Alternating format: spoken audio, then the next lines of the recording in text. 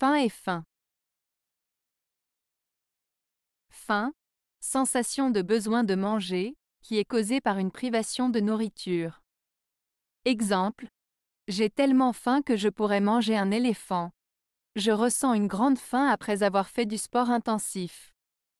Faim, terme d'une période, d'une activité ou d'un événement. Exemple.